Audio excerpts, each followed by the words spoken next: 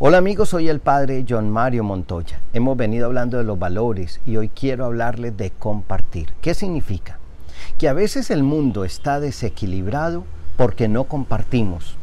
Yo tengo algo que tal vez a otro le sirve o que tal vez otro necesita. Yo tengo algo que quizás ya no estoy usando o que quizás inclusive me hace un poco de falta, pero que al otro le hace más.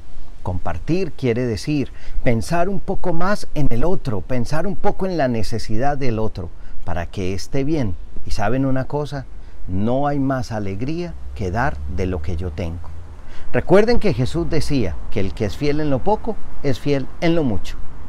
Alabado sea Jesucristo.